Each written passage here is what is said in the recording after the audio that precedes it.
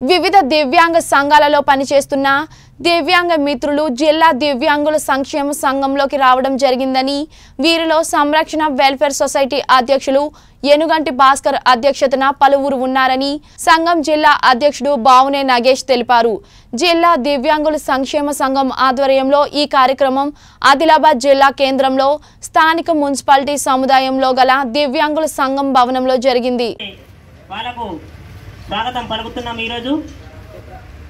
ఏదైతే మన సంఘ కార్యక్రమాలు ఉన్నాయో అందరూ కలిసికట్టుగా చేసుకుంటా పోతేనే ఏదైనా సాధించవచ్చు.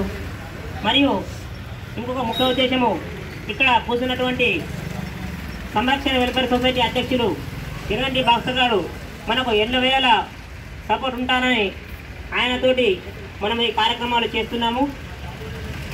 మనకు ఏ అవకాశం అవసరం ఉన్నా కూడా ఆయనకు సంప్రదిస్తే మనకు ఎప్పుడు తోడు నీడగా ఉంటాడని అందరికీ ఈరోజు పరిచయం చేయడం జరుగుతుంది.